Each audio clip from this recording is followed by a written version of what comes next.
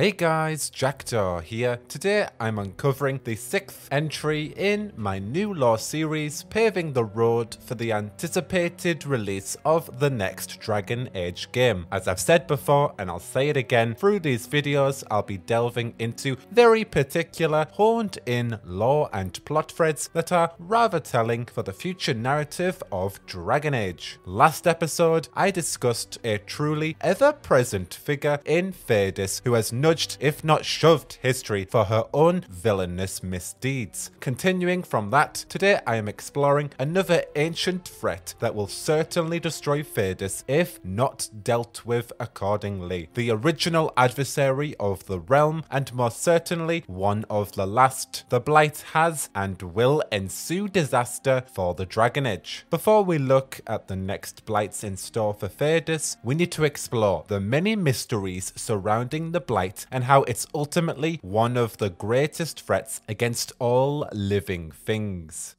I laugh at a world full of stupid humans who ignore the Blight's evil and abandon their vigilance to chase mortal goals. Remember, it is up to you to destroy the Blight. Pray not for someone else to destroy it. It will always nip at your heels. The Chant of Light teaches that the Blight was sent by the Maker as punishment to the seven Tevinter Magisters who conspired and plotted to usurp his heavens. In their pride, the seven Magisters, also known as the Magister Sidereal, physically entered the Fade, after hearing whispers from their ancient old gods who planned to bestow their godhood and knowledge onto each Magister. However, when the mages breached the Golden City, the old gods were nowhere nowhere to be seen. Instead, the Sidereal found the Maker himself upon the throne of heaven. With their trespassing, the city was turned black, committing the second sin. This sin corrupted the Magisters who entered the Fade, returning them to the waking world as the first Darkspawn. However, Tevinter's Imperial Chantry has a different angle on this tale, blaming the lies of the old gods rather than the Magisters who breached the Fade for power and glory beyond beyond all reckoning. Even further than that, according to Corypheus, one of the actual seven magisters who led the Sidereal scheme to seize the Golden City, when he awoke in the Dragon Age, he claimed that the Golden City was already black and the throne of the gods was empty before they arrived, advertently disproving the texts of the Chant of Light and the Maker's interference with the creation of the Blight and locking away the old gods. In fact, Corypheus on each of the Magisters discovering and claiming the Black City's darkness for themselves, most certainly referring to the Blight. They spit on our deeds and claim we brought darkness into the world. We discovered the darkness. We claimed it as our own. Let it permeate our being. If the others have not returned, they are lost. I am alone in my. While that may be the ravings of an ancient evil twisted creature, Corypheus' testimony is certainly unique and provides more reasoning into the Blight's existence than the Chant of Light has, alluding to the fact that perhaps something actually did happen even before the time of man that resulted in the blackening of the Golden City, indulging the idea that the Blight is an ancient mystery that predates the Tevinter calendar, the Empty Ones were a short-lived Nevarran cult who worshipped the Blight, believing that it came from a place called the Void, which is a place of nothing also known as the Abyss. The cult believed that returning to the Void was something to be celebrated because it meant an end to all pain and suffering, while the Chantry views the Void as the antithesis of the Maker's creation, the Dalish Elves believe that the Void is the home of the Forgotten Ones, the gods of disease, terror, spite, and malevolence. In addition, the Dalish elves actually have a name for the Blight, being Banalhan, which translates to the place of nothing, or rather, where the Blight comes from. Andruil, one of the members of the Elven Pantheon, was said to stalk the Forgotten Ones in the Void. She suffered longer and longer periods of madness after returning. She put on armor made of the Void and all forgot her true face. She made weapons of darkness and and plague ate her lands. She howled things meant to be forgotten until Mythal turned into a great serpent and sapped Andruil's strength with her magic, stealing her knowledge of how to find the void. Andruil couldn't get back to the abyss ever since, and peace returned. So did Andruil return to her people with the Blight, bringing plague upon the lands until Mythal stole Andruil's knowledge away from her, claiming it for herself. Another codex entry points to an angry energy that began to crackle the runes as the elves collapsed caverns, sealing away the deep roads, so no one could awake its anger. These events unfolding after Mythal slew the Titans. Was this codex describing the Blight attempting to wreak havoc on the ancient elves since the death of the Titans? And in defense, the elves sealed away the deep Roads to stop its anger. To give even more context, the Darkspawn come from the deep Roads, which have been related to the void in some circumstances. For instance, the anvil of the void was discovered in the deep Roads, a powerful tool that was used to turn living dwarves into golems of steel and stone with the use of lyrium. It certainly seems like the void and the deep Roads have been very closely represented. Regardless, the Blight's origin is still an ancient lingering mystery. As I've explored, it's some kind of darkness with direct ties to the ancient elven times. It's been discovered in the Black City, however, is said to come from the Void, which the dwarves relate to the Deep Roads. Now, the Chant of Light, which I've just disproven, described that after the Seven Magisters became the first of the horrifying Darkspawn, they found Dumat, one of their old gods, and in their tainted form, the Magisters corrupted the old god with the Blight, twisting it into an archdemon, unleashing the first Blight onto Thedas. In essence, the Blight refers to a constant cycle of Darkspawn searching for the sleeping old gods. When found, Darkspawn corrupt and turn an old god into an archdemon, which therefore starts a Blight. Darkspawn are always drawn to the sleeping old gods and search for them via a perpetual song. The old gods have been described as unknown beings that take the shape of dragons, worshipped as such by the Tevinter Imperium. However, their true forms are still a mystery. When tainted by Darkspawn, old gods become archdemons, which then lead the hordes of Darkspawn against the people of Thedas via a hive mind connection. After more than a hundred years of the First Blight, which destroyed several dwarven kingdoms, the people of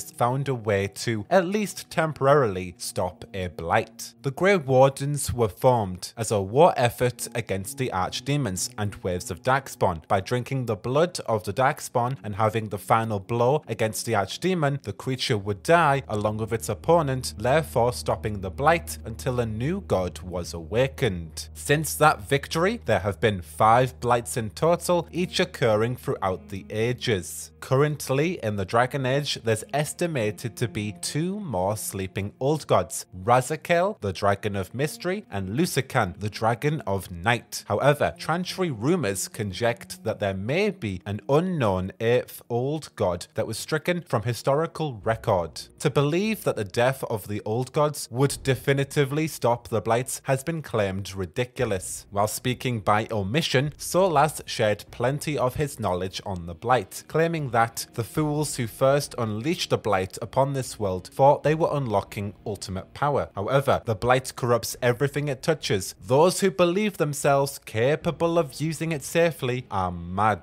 Indirectly, one assumes nothing in any law connects Solas's people to the old god dragons who became archdemons. For all we know, killing the old gods could make things even worse. And finally, Solas himself said, the blight is the real problem. The Grey Wardens have bought us some time, I will grant them that. Take Solas's word as you will, regardless, without the tainted archdemons, the Blight is still a corruption that perverts every living thing it touches. As discovered by Bianca Davri, red lyrium carries the Blight. Regular lyrium being the blood of the Titans, red lyrium is a twisted corruption of the same being. The growth of red lyrium throughout the land has merely begun. Attempting to remove the mineral is likely a fruitless effort, as it will have already introduced itself into the food chain, which begets more corruption. Blighted soil infects insects, which then blights farmer crops, in turn blighting the people of Thedas. With the tainted substance multiplying across the ecosystem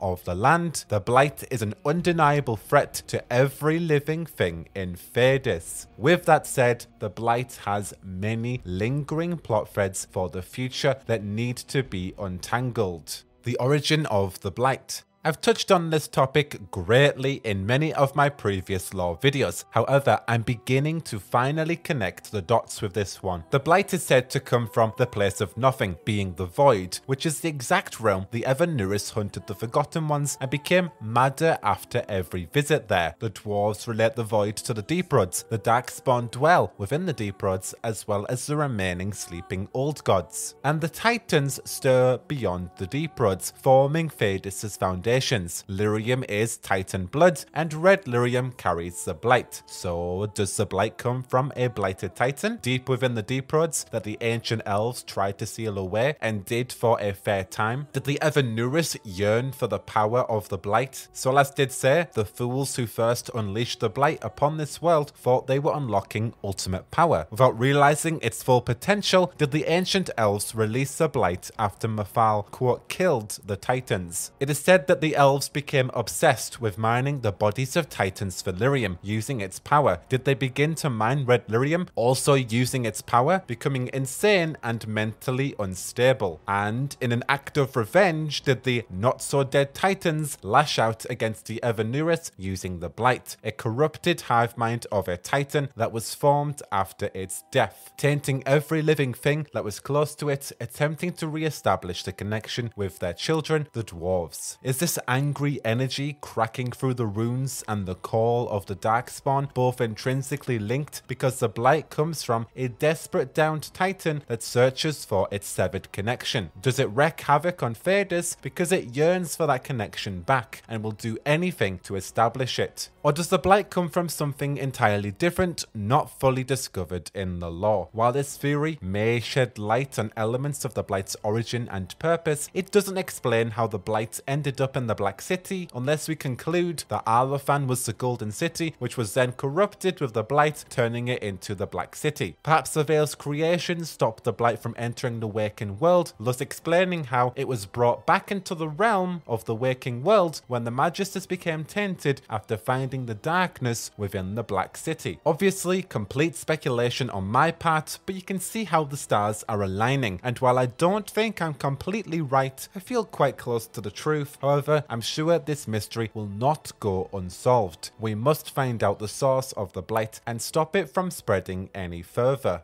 Current Grey Warden whereabouts. The Grey Wardens have become a burned out, irrational faction as of late, attempting to stop the next blights from happening. However, there are many rumblings of inner conflicts within the Wardens' command. Currently, the Grey Wardens of Fortress Weisshaupt, the original headquarters where the faction was formed in the Anderfels, have severed communications with the Wardens of the South for reasons unknown. Recently, griffin eggs were found in the Anderfels by a new Warden recruit recruit. Perhaps they've decided to keep this secret among the rest of the wardens to ensure that the birds can survive and endure. Or are all the wardens of Weisshaupt dead? The Anderfels are a blighted land, with hordes of Darkspawn roaming the wastes. A sudden silence is rather ominous. Perhaps the Darkspawn finally decided to invade. While they've proven to be quite redundant, the Grey Wardens do actually know the locations of the prisons of each of the old gods gods. However, they are deep underground and cannot easily be accessed by the wardens without cutting through thousands of darkspawn. But it's worth noting that the wardens do indeed know the location of Razikale and Lusacan, the next old gods to become blighted.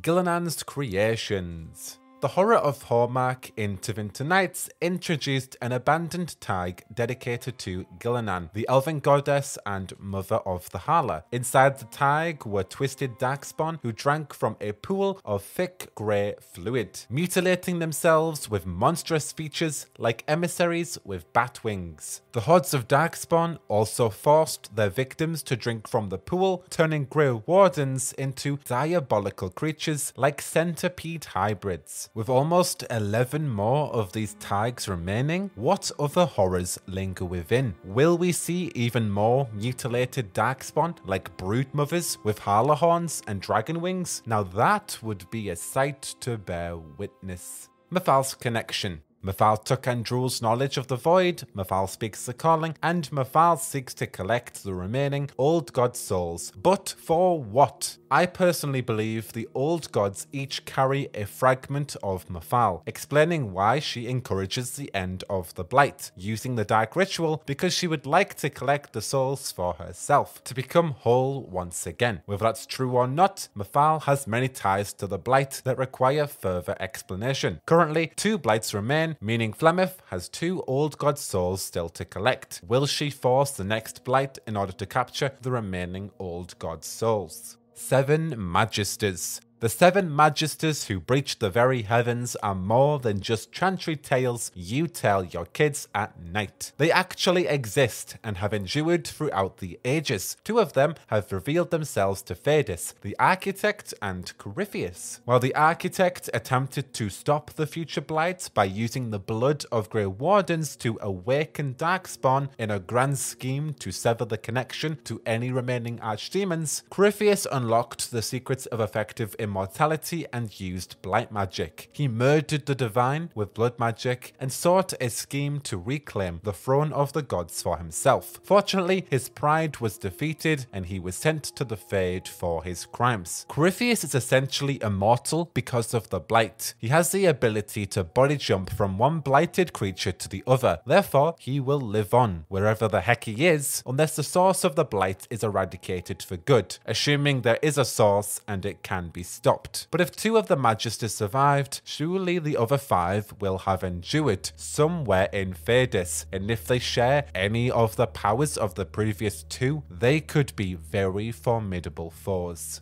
The old god's true identity. While the old gods take the shape of dragons, they are certainly not draconic beasts, especially considering actual dragons are highly resistant to the blight. Instead, the old gods can seemingly shapeshift into whatever they desire. To spitball, the blight is viewed as sin, a punishment for entering the Maker's realm. In ancient elven times, certain forms like dragons were reserved for the gods and their chosen. However, the elven god Dirthamen had a sinner who took the form of the old gods and was sentenced with high treason. The correlation of sin is very interesting, but even more than that, the fact that Dirthamen's sinner took the shape of the elven gods and the old gods take whatever shape they want. Could the two relate? Regardless, the old god's true form is still a mystery. Will we ever see an old god before it's too late, uncovering their actual non-blighted shape? Does their true form even matter? Is it something already recognizable in the lore? And finally, the next blights. Why blights happen is debated. The prevailing belief is that the archdemons are trying to regain power after their home in the Fade was corrupted by the Seven Magisters. However, with so much of the blight connecting to the time before man, the time before the Seven Magisters, I feel it's rather shallow to believe that the blight happens just because of Lat. Do archdemons follow the call of a vengeful titan, or was the blight created in the void, unleashed by power-hungry fools? What what is the purpose of the Blight and how can one stop it from happening? The Blight is the true enemy of Dragon Age. Even Solas himself said that. We should not undermine its growth. It will surely have a catastrophic effect in the next Dragon Age. For all we know, Solas himself may have a plan to stop the Blight as he realizes its true evil. In any event, two old gods remain untainted, yet to be turned into archdemons. Let me know your thoughts down below on the future blights and everything in between. Don't forget to follow me on Twitter and Instagram, like me on Facebook. But until the next one, I have been Jackdaw and I should go. Whoa, whoa, whoa.